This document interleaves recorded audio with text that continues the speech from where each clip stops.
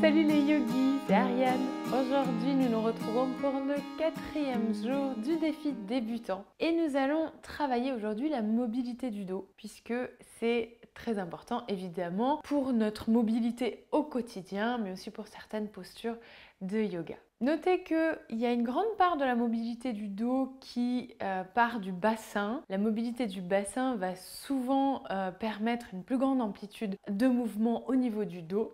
Donc on va pas mal travailler au niveau de cette zone et notamment également aussi au niveau des psoas.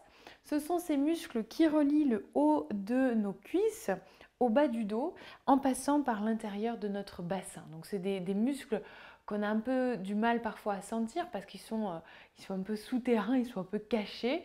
Et pourtant, c'est vraiment des muscles qui jouent un rôle très important dans la mobilité de notre dos. Pour cette séance, vous n'aurez besoin de rien ou presque, à moins que vous ayez besoin de support sous vos cuisses quand vous êtes allongé sur le dos et d'une couverture, pourquoi pas, pour ne pas avoir froid pendant la relaxation. Vous aurez également besoin, ça c'est sûr, d'un mur, un mur disponible si vous n'avez pas de mur disponible, vous pouvez aussi une porte. Et pour commencer, je vais vous inviter à vous allonger sur le dos. On commence avec un peu de pranayama, un peu de respiration comme à notre habitude. Installez-vous confortablement, n'hésitez pas à venir placer un support sous vos cuisses. Si vous avez tendance à avoir mal au bas du dos quand vous êtes allongé sur le dos, n'hésitez pas non plus à vous couvrir si nécessaire. On va continuer notre travail respiratoire, mais avant tout, prenez un instant pour vous poser, pour vous allonger confortablement.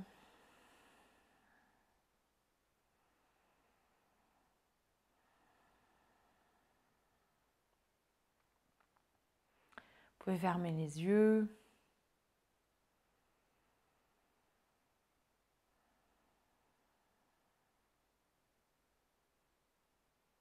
Observez votre respiration naturelle aller et venir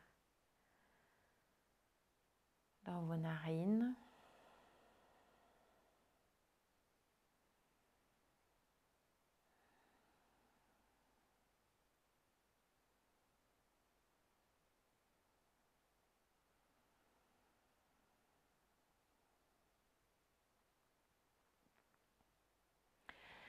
Je vous invite à venir placer une de vos mains sur votre euh, sternum, au-dessus des seins, au-dessus de la poitrine.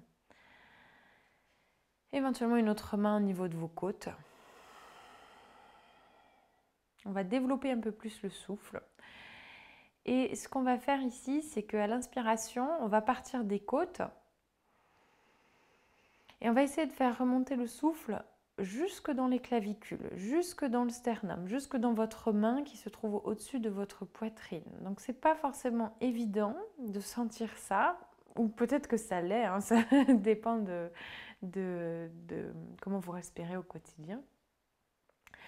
Et à l'expiration, on ramène doucement le nombril vers la colonne vertébrale et on sent la main qui se trouve sur le sternum qui s'abaisse. Donc à l'inspiration, on sent les côtes s'ouvrir et on va essayer de faire monter le souffle le plus haut possible.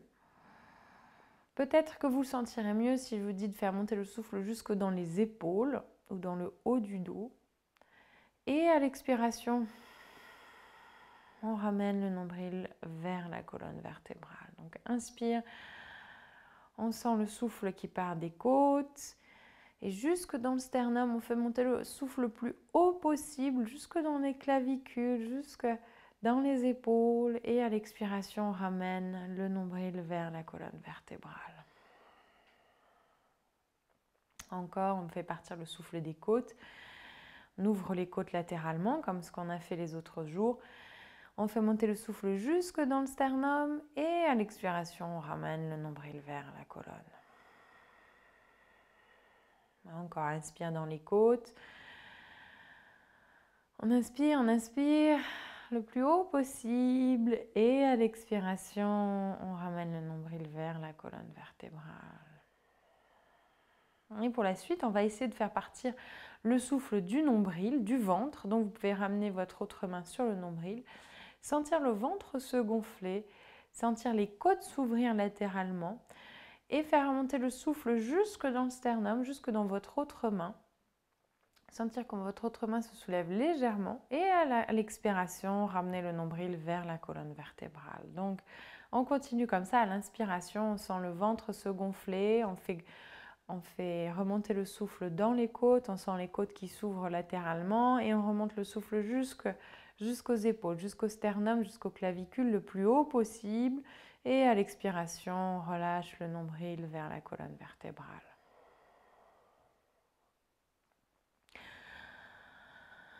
Donc là, on, rajoute à notre, euh, à notre respiration ce qu'on appelle la respiration claviculaire. La respiration la plus euh, superficielle, entre guillemets. Les gens qui respirent que au niveau du haut des poumons, hein, que au niveau des clavicules. Et quand ce n'est pas fait euh, consciemment comme ce qu'on est en train de faire ici, ça peut être euh, une respiration qui génère un peu de stress parce que ça envoie le signe euh, au corps qu'il faut s'activer. Vous sentez peut-être que le fait de respirer comme ça, en faisant partir le ventre, le souffle du ventre dans les côtes et jusque dans le sternum, ça, dynamise un petit peu notre, notre corps. Continuez comme ça. Et alors ce qu'on fait ici, donc là on est en train, on a rajouté donc la respiration claviculaire, mais ce qu'on est en train de faire ici, c'est ce qu'on appelle la respiration en trois parties ou respiration dirga. On utilise le ventre, les côtes et le sternum pour respirer, de manière à vraiment avoir une respiration complète, d'où son nom de respiration complète, ou de respiration en trois parties, ou de respiration dirga. Donc continuez encore comme ça. Je vous invite à faire encore trois cycles. Inspire dans le ventre. On sent le souffle monter dans les côtes, ouvrir les côtes latéralement, monter jusque dans le sternum. Et à l'expiration, on ramène le nombril vers la colonne vertébrale. Ne vous crispez pas, ne crispez pas les traits du visage ou les épaules.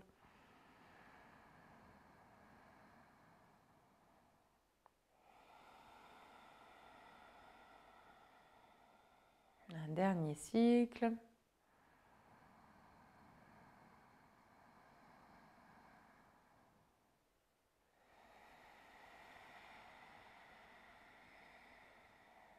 Et à la fin du troisième et dernier cycle, pourrez relâcher les bras au sol, paume de main de vers le ciel, relâcher le ventre, relâcher le souffle, revenir à une respiration naturelle.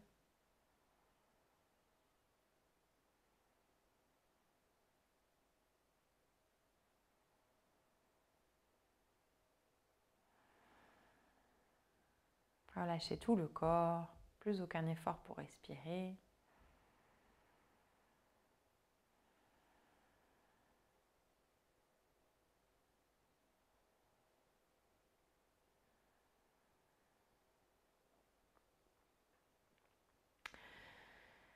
Pourrez doucement fléchir les genoux, placer les plantes de pied au sol, rouler sur le côté Placez un de vos bras sous votre tête. Un chien de fusil. Prendre appui sur votre main pour venir vous asseoir sur votre tapis. Et nous allons croiser les tibias devant nous pour venir à quatre pattes. Donc vous connaissez bien maintenant cette posture, la posture du chat, les mains sous les épaules, les genoux à la largeur des hanches. Et nous allons ici, à la prochaine inspiration, lever le bras gauche et la jambe droite. On fléchit la cheville droite ici. Ce qu'on va faire, c'est qu'à l'inspiration, on va ramener le bras gauche et la jambe droite vers le ciel en étirant tout le corps du bout des doigts jusqu'à la plante du pied. Et à l'expiration, on fléchit le genou, on fléchit le coude et on ramène le menton vers le genou comme si on voulait faire un petit bisou au genou droit. Donc on, vient, on va essayer de faire en sorte que le coude et le genou se touchent. Et à l'inspiration, on étire à nouveau, bras gauche, jambe droite vers le ciel. On regarde vers le ciel. On étire et on ramène vers le ciel. Et à l'expiration, on fait dos rond. Et on ramène le coude vers le genou, comme si on voulait faire un petit bisou au genou droit. Et on continue. Inspire. Expire. Inspire. Expire. Et une dernière fois, inspire, on s'étire. On étire la jambe et le bras. Expire. On ramène le genou vers le coude. On relâche la main gauche au sol. On prend une inspiration ici. On ramène le genou droit vers le ventre. Et à l'expiration, on va placer le pied droit entre les deux mains. Une fois ici, je vais vous inviter à fléchir la cheville gauche et à reculer un petit peu votre genou gauche vers l'arrière et à le reposer au sol. C'est le même principe ici, si vous avez le genou sensible, n'hésitez pas à plier le bord de votre tapis pour relâcher votre genou gauche sur une surface un petit peu plus douce. Et on va ramener la main droite à l'intérieur de la jambe droite. Donc vous pouvez ici un petit peu ouvrir votre pied droit vers l'extérieur. Et nous allons un petit peu mariner ici. Donc si c'est vraiment trop intense pour vous, basculez un petit peu le bassin vers l'arrière. C'est vous qui voyez. Sinon, relâchez complètement le bassin vers le sol, relâchez les fessiers, relâchez les traits du visage. Si vous avez un peu plus de mobilité dans le corps, vous pouvez relâcher les avant-bras au sol. C'est vous qui voyez en fonction de ce qui se passe dans votre corps. Allez-y tranquillement et revenez au souffle, profondes inspirations, profondes expirations avec le nez. Donc ici, vous voyez, on est en train de travailler l'ouverture des psoas, ces fameux muscles dont je vous parlais en début de séance. Et a priori, vous devriez sentir, on travaille les deux psoas, hein, sauf qu'il y en a un qui est dans un sens et l'autre dans l'autre sens. Il y en a un qui est fléchi, l'autre qui est tendu. Donc le psoas de la jambe droite est fléchi et le psoas de la jambe gauche est tendu.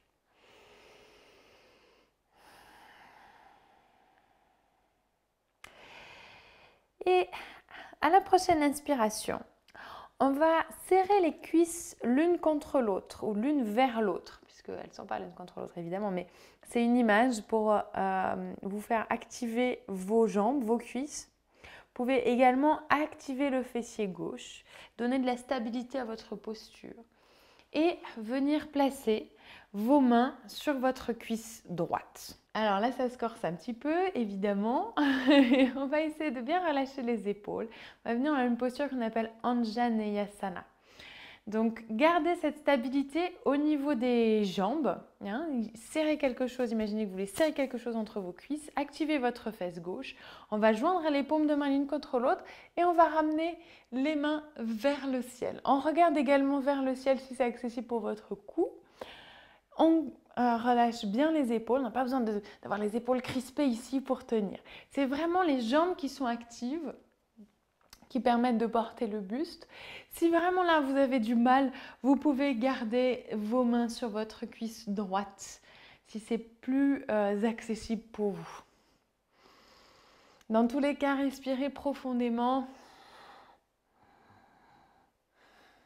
Une dernière profonde inspiration, grandissez-vous une dernière fois. Et à l'expiration, on va venir poser les mains au sol de part et d'autre du pied droit. Et on va fléchir la cheville gauche de manière à tendre la jambe gauche, à tendre la jambe arrière. Et vous voyez peut-être là où je veux en venir, on va faire un peu la même chose que ce qu'on vient de faire, sauf qu'on va avoir la jambe arrière tendue. Donc une fois que vous êtes là, je vais vous inviter à prendre appui sur votre main droite euh, sur votre cuisse droite, pardon, et à redresser le buste. Donc pensez à bien activer votre jambe gauche. Poussez votre talon gauche vers l'arrière et vers le ciel. Activez votre fesse gauche. Essayez de ramener le bassin vers l'avant. Fléchissez bien votre jambe droite. Hein. Souvent, ce qu'on a tendance à faire, c'est à la défléchir. Alors, c'est un peu trop facile, c'est un peu de la triche, entre guillemets. On fléchit bien de manière à avoir la jambe à 90 degrés. Et on va essayer de lever les bras vers le ciel. Si c'est possible. Respirez bien. On prend une dernière profonde inspiration, courage. Et à l'expiration, on place les mains au sol. On relâche le genou gauche au sol. On relâche la cheville gauche au sol. On fait glisser le pied droit vers l'arrière pour revenir un instant à quatre pattes. Et on ramène les fessiers vers les talons pour venir dans la posture de l'enfant, que vous pouvez évidemment agrémenter de supports, coussins, briques, en fonction de ce qui est disponible pour vous. Donc là, je vous renvoie aux séances précédentes où j'explique un petit peu plus tout ça en détail. Et ici, une fois que vous êtes dans la posture de l'enfant, on relâche le front. Euh, vous pouvez garder les bras vers l'avant ou vers l'arrière. On relâche les épaules. On relâche le bas du dos.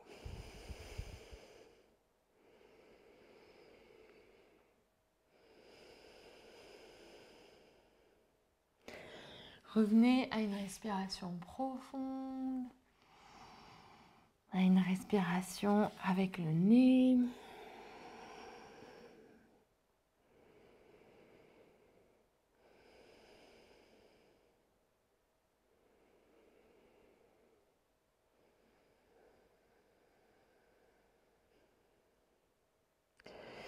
Et à la prochaine inspiration, on va revenir à quatre pattes pour faire la même chose à gauche. Donc ici, ce qu'on va faire, c'est que on commence avec bras droit, jambe gauche. Donc on allonge bras droit, jambe gauche. On prend une inspiration, on ramène, on fléchit bien la cheville gauche et on ramène le bras droit et la jambe gauche vers le ciel. On se grandit, on s'étire et à l'expiration, on ramène le genou vers le coude, on fait dos rond, comme si on voulait faire un petit bisou au genou gauche. Inspire, on s'étire. On étire le bras et la jambe vers le ciel. Et à l'expiration, on fait dos rond. Inspire, on étire. Et expire dos rond. Encore inspire. Expire. Inspire. Expire. Et une dernière fois. Inspire. Expire, on fait dos rond, ramène le genou vers le coude une dernière fois. On relâche la main droite au sol. On prend une inspiration, on ramène le plus possible la cuisse gauche contre le ventre et on ramène le pied gauche entre les deux mains. On ramène la main gauche à l'intérieur du pied gauche, donc vous pouvez ouvrir un petit peu votre pied gauche vers l'extérieur.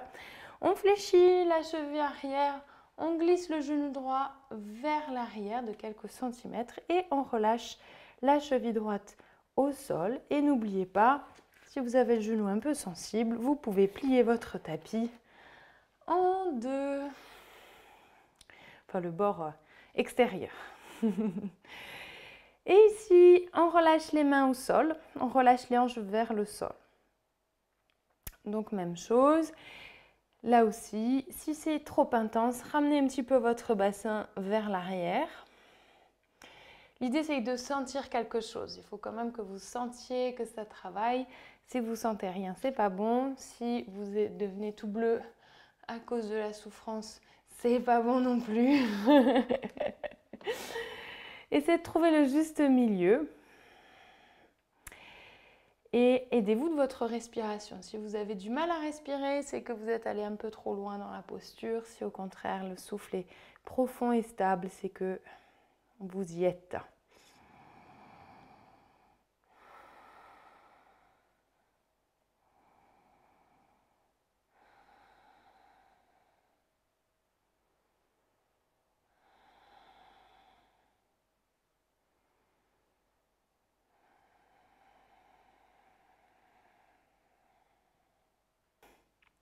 Et à la prochaine inspiration, on va imaginer qu'on veut serrer les cuisses l'une contre l'autre. Donc vraiment sentez ici de la stabilité dans toute cette zone, dans la zone cuisse-bassin. Activez votre fesse droite.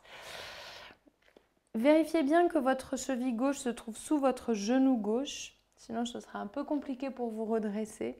Notamment si vous êtes comme ça, ça va être beaucoup plus intense pour vos hanches. Si vous êtes comme ça, si votre cheville est trop vers l'arrière, vous allez euh, créer beaucoup de tension sur votre genou. Donc l'idéal, c'est vraiment cheville gauche sous le genou gauche. Et on se redresse, on redresse le buste ici.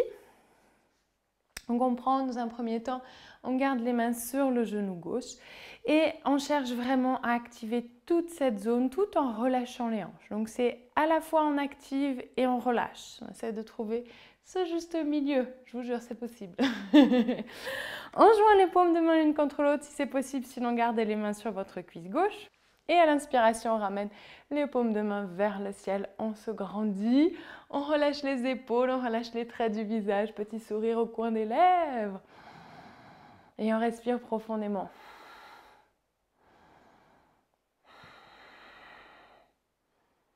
Dernière profonde inspiration, grandissez-vous, étirez-vous. Et à l'expiration, on repose les mains au sol. On va fléchir la cheville droite. On, ancre les orteils du pied droit dans le sol. Et là aussi, dès le départ, sentez que vous activez vos jambes. Elles ne sont pas ramollo. Toujours cheville gauche sous genou gauche. Et une fois que vous êtes prêt, prête, à l'inspiration, vous pouvez prendre appui sur votre cuisse gauche, redresser le buste Activez bien votre jambe arrière, activez la fesse droite. Et quand vous serez prêt, à l'inspiration, ramenez les bras vers le ciel. C'est la posture du coureur. On respire bien, on essaie de relâcher le haut du corps. Le bas du corps est beaucoup plus actif. Sentez le talon de la jambe arrière est actif. On pousse le talon vers l'arrière, on allonge la jambe arrière. Dernière grande inspiration se grandit et à l'expiration, on relâche les mains au sol. On relâche le genou arrière au sol et la cheville droite au sol. On glisse la jambe gauche vers l'arrière. On relâche les deux genoux au sol. On passe à quatre pattes. Et à l'expiration, on relâche les fessiers vers ou sur les talons. Et on relâche le front au sol. Donc vraiment, essayez de trouver le confort ici. Rajouter des supports autant que c'est nécessaire. Et revenez au souffle, relâchez les bras, les épaules, relâchez le bas du dos.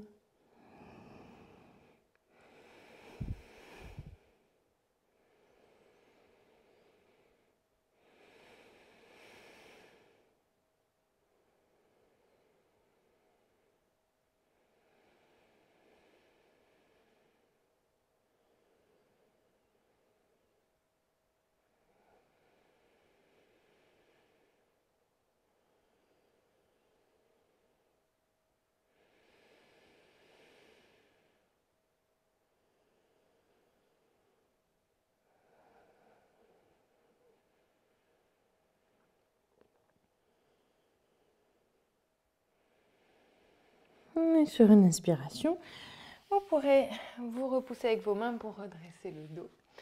Croisez les tibias devant vous, allongez les jambes devant vous. On une posture qu'on fait beaucoup en yoga qui s'appelle Paschimottanasana. Donc, en fonction de ce qui se passe dans votre corps, vous aurez peut-être besoin d'un support sous vos fessiers. C'est notamment le, cas si vous avez tendance à partir vers l'arrière quand vous êtes assis comme ça.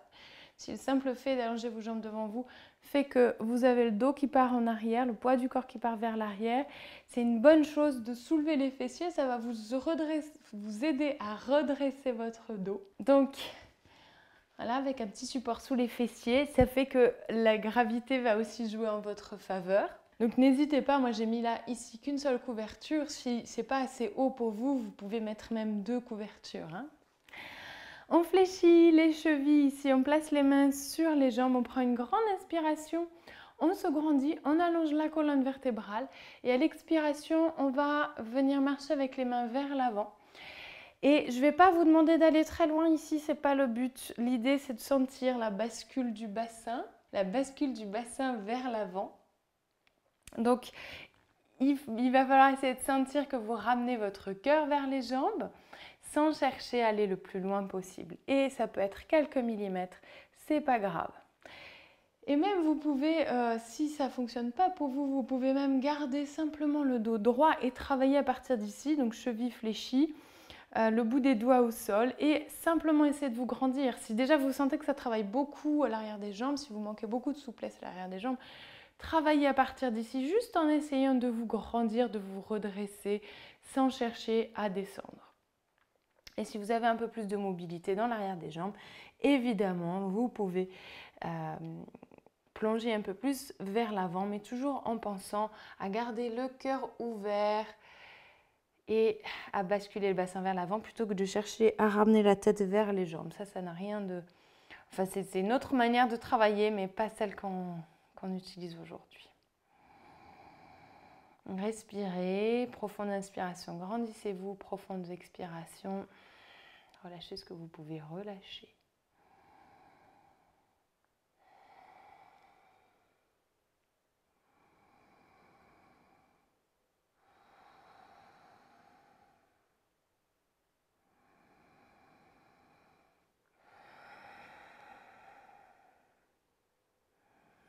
Utilisez toujours les inspirations pour vous grandir et les expirations pour éventuellement aller un peu plus profondément dans la posture si c'est accessible ou pour éventuellement relâcher les éventuelles tensions qui se créent dans le corps. Et à la prochaine inspiration, on se repousse avec les mains, on redresse le dos si ce n'est pas déjà le cas. On va à nouveau croiser les tibias et on va venir s'allonger sur le ventre.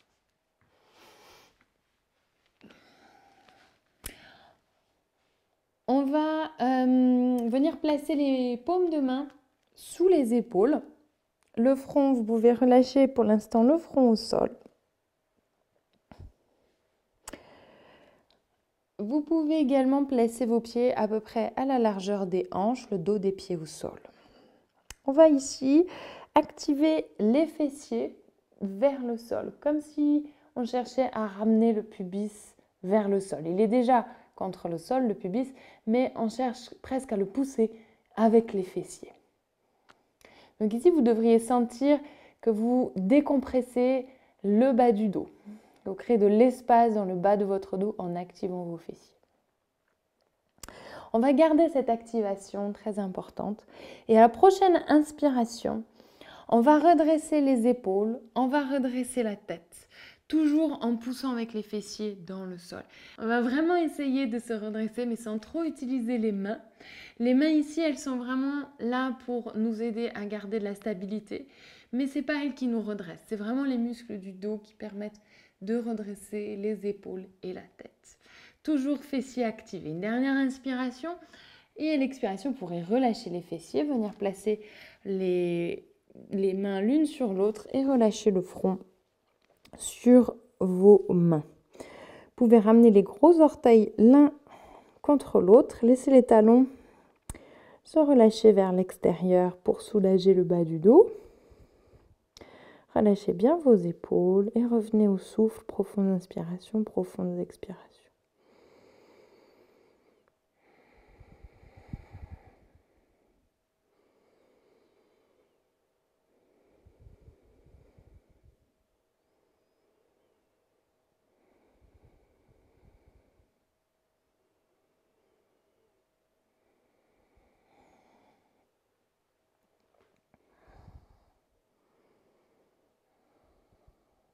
On va replacer les mains sous les épaules, enfin même un peu plus vers l'arrière que sous les épaules. Les mains étaient un peu plus vers l'avant juste avant.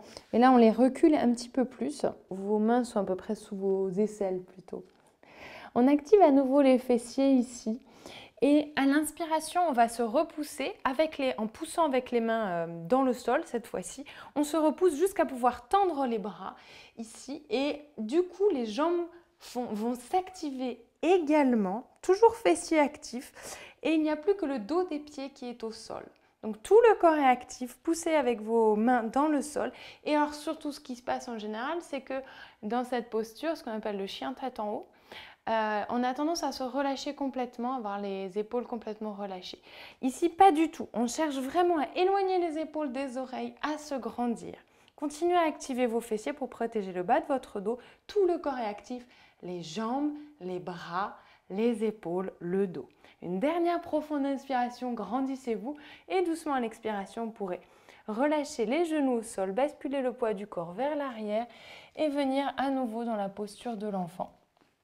Et relâchez le front au sol, relâchez les fessiers vers ou sur les talons. N'hésitez pas à mettre un support sous votre front ou entre vos cuisses.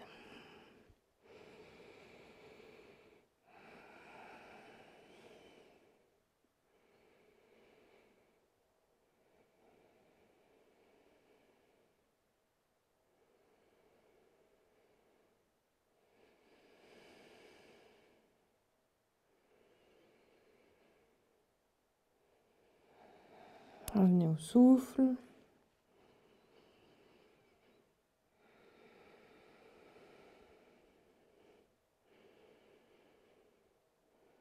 Vous, sur une inspiration, pourrez vous repousser, redresser le dos, bien vous asseoir sur vos talons. Avant de passer à la chandelle que nous allons faire avec un mur? Donc je vais vous inviter à ramener votre tapis contre un mur ou contre une porte fermée. On va faire, euh, je vais vous montrer comment rentrer dans la posture de la chandelle, qui est une inversion, qui est un peu plus intense que celle qu'on a fait dans le jour 3 de ce défi. Hein. je vous rappelle Viparita Karani, les jambes contre le mur. Notez que la chandelle n'est vraiment pas recommandée si vous avez des problèmes de nuque, de cou. Euh, si vous avez des problèmes de dos aussi, ça peut être euh, trop intense pour euh, vous. Donc si vous rentrez dans une de ces catégories, n'hésitez pas à la place à faire la posture qu'on a fait précédemment, Viparita Karani. Donc je vous invite à re-regarder la séance 3 de ce défi si vous avez oublié de quoi il s'agissait. Voilà. Et sinon, on va venir s'allonger, allonger le dos euh, sur notre tapis. On va ramener les fessiers à une vingtaine ou une trentaine de centimètres du mur. Et on va donc relâcher le dos au sol. On va fléchir les genoux, venir placer les plantes de pied contre le mur. Et ce qu'on va faire ici, c'est qu'on va pousser avec les pieds contre le mur de manière à pouvoir placer les mains sur le dos. Et on va marcher avec les pieds vers le ciel. Et une fois ici, vous pourrez ramener une jambe, puis l'autre vers le ciel pour venir en chandelle. N'hésitez pas à rapprocher un petit peu plus, à venir placer vos mains un peu plus haut sur votre dos. Donc, si c'est trop intense pour vous, vous pouvez rester à ce stade ici, c'est-à-dire en gardant les pieds contre le mur et travailler à partir d'ici. Vous pouvez ramener une jambe, reposer le pied contre le mur, changer, ramener l'autre jambe, puis replacer le pied contre le mur. Vous voyez en fonction de ce qui est accessible pour vous aujourd'hui. Si vous êtes dans la chandelle, donnez une direction à vos pieds et essayez de ramener les hanches au-dessus des épaules. Tournez les cuisses vers l'intérieur et évidemment respirez.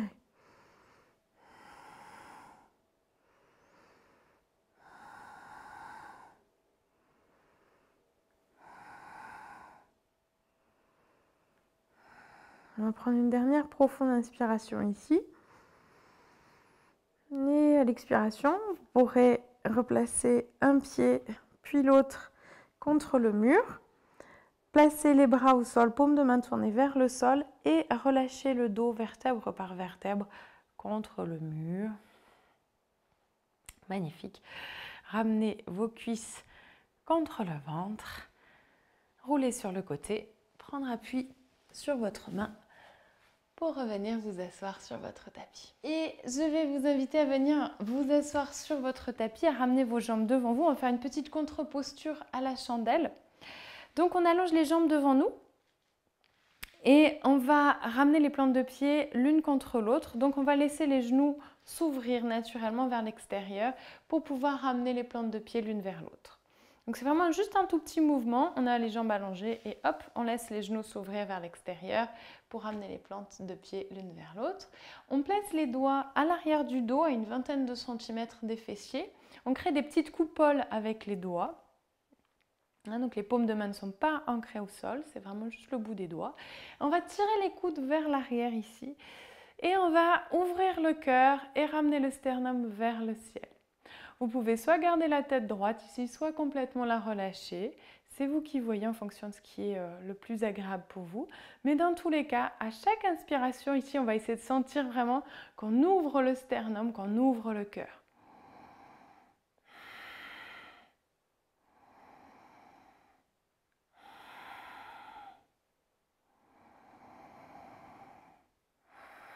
Une dernière profonde inspiration dans le cœur. Doucement à l'expiration, on pourrait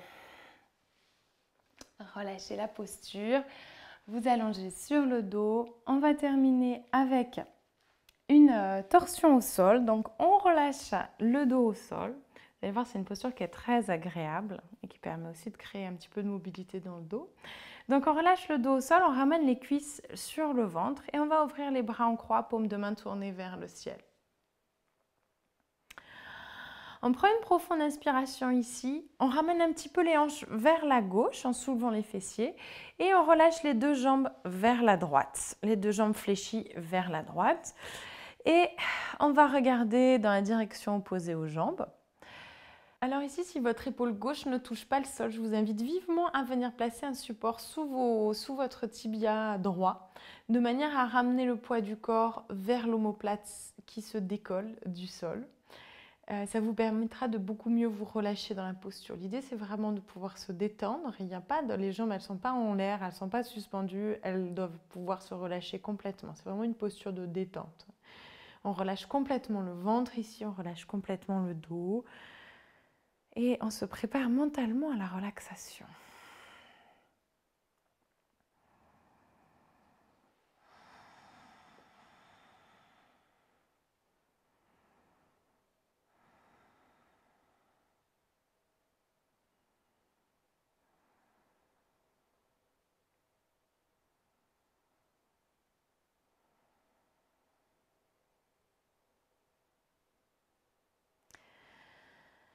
Et sur une inspiration, ramène les jambes au centre. Vous pouvez replacer les plantes de pied au sol, ramener, soulever les fessiers, ramener les hanches vers la droite et fléchir les genoux, ramener les deux jambes vers la gauche pour regarder ensuite vers la droite si c'est accessible pour votre nuque. Même chose de l'autre côté, si vos jambes ne touchent pas le sol ou si votre omoplate droite se soulève, venez placer un support sous vos tibias de manière, enfin sous votre tibia gauche, de manière à pouvoir vous relaxer complètement. L'idée c'est que vraiment les deux omoplates touchent le sol, les deux omoplates puissent se relâcher complètement sur le sol. Relâchez le ventre, relâchez l'intérieur des cuisses.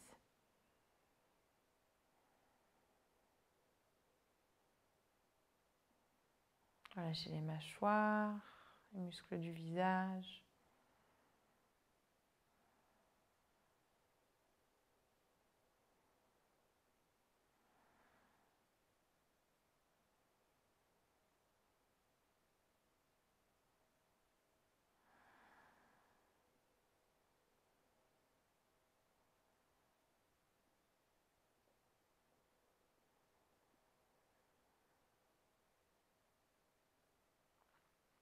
Et doucement, on pourrait ramener les jambes au centre. Et vous allongez pour la relaxation. Donc allongez vos jambes devant vous, les bras le long du corps. N'hésitez pas à utiliser votre support pour le caler sous vos cuisses de manière à décambrer le bas de votre dos. N'hésitez pas non plus à vous couvrir, à venir mettre une couverture sur votre corps à mettre des chaussettes, un gros pull, bref. N'hésitez pas à mettre votre vidéo en pause si vous n'aviez pas tout ça à portée de main. Prenez le temps de vous installer confortablement. Fermez les yeux.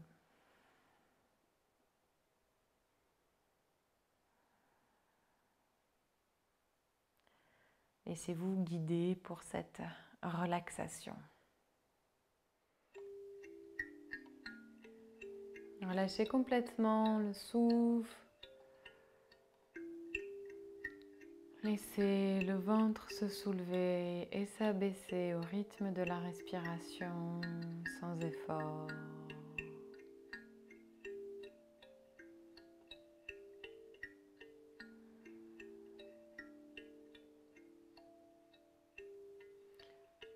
Relâchez le bas du dos, le milieu du dos, le haut du dos.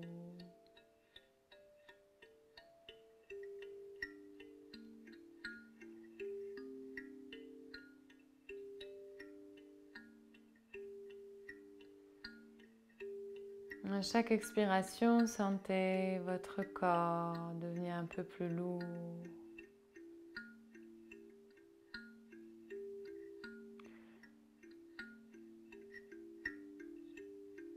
Chaque expiration,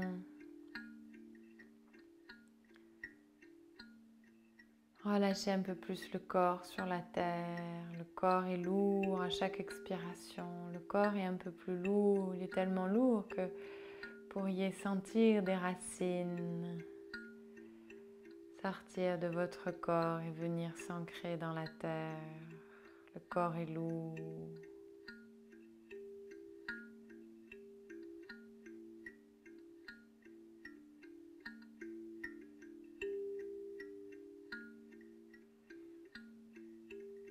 Et à la prochaine inspiration, sentez votre corps devenir léger, léger, léger. Le corps est léger, aussi léger qu'une plume ou qu'un nuage. Le corps est léger, léger.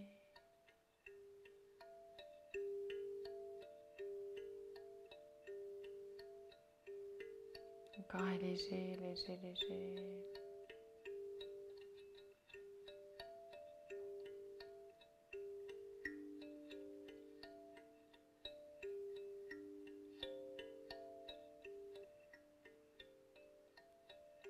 Laissez de côté les sensations de lourdeur et de légèreté. Observez simplement votre corps posé sur le sol. Observez les contours de votre corps comme si vous étiez un peintre qui voulait faire le contour de votre corps avec un pinceau. Observez le corps posé sur le sol et les contours du corps sans juger, simple observation.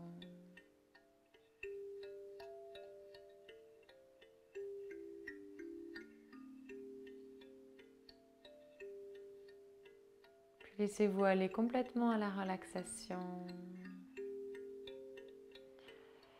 Laissez de côté toutes les sensations. Laissez-vous aller simplement à cet instant de relaxation que vous vous offrez.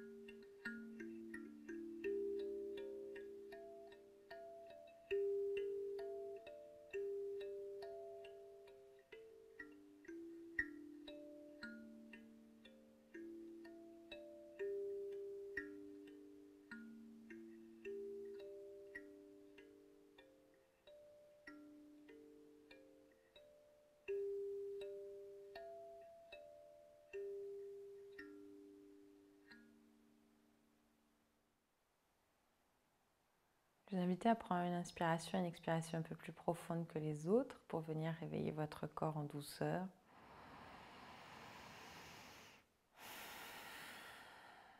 Commencez par bouger les orteils, les doigts, la tête, droite à gauche. Vous pouvez vous étirer ici?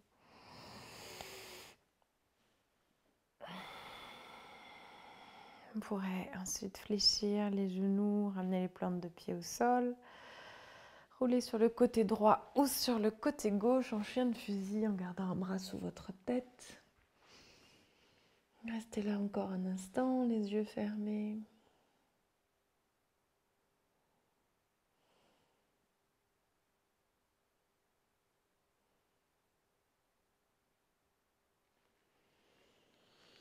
Tout le monde prendre appui sur votre main pour venir vous asseoir en tailleur sur votre tapis. Donc n'hésitez pas à prendre un support pour vous asseoir, de manière à redresser la colonne vertébrale. Croisez vos tibiales l'un de ceux de l'autre. Redressez la colonne, grandissez-vous, ouvrez votre cœur, relâchez les épaules, relâchez les traits du visage. Terminez par le son Om. Donc comme toujours, vous pouvez soit m'accompagner, soit simplement m'écouter. Toujours les paumes de main sur le cœur. Une profonde inspiration.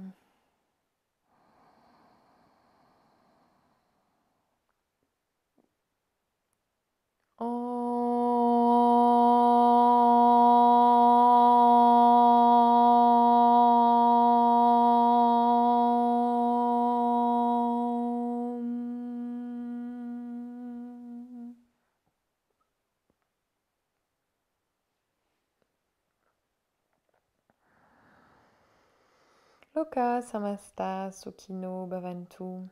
Puissent tous les êtres vivants aller en paix, être heureux. Puisse notre pratique servir ce but. Om Shanti Shanti Shanti. Merci à vous. J'espère que ce défi continue à vous plaire. Vous voyez, j'essaye de vous introduire petit à petit à certaines postures euh, qu'on fait beaucoup en yoga, euh, tout en faisant travailler progressivement le corps. Vous voyez, aujourd'hui, c'était un petit peu plus intense. Demain aussi, ce sera un peu plus intense avec une séance sur la force, la force dans le haut du corps notamment. Euh, donc voilà, on va un peu crescendo, mais vous verrez, ça va aller. Et puis l'idée, c'est de progresser euh, tranquillement. Donc n'hésitez pas à refaire certaines séances si vous avez l'impression qu'il y a des choses qui bloquent, vous avez du mal à, à rentrer dans une posture. Euh, refaites euh, plusieurs fois cette séance avant de passer à la suite. Euh, bref, allez-y à votre rythme, rien ne presse, tout vient en pratiquant. Donc là aussi, toujours un peu de patience.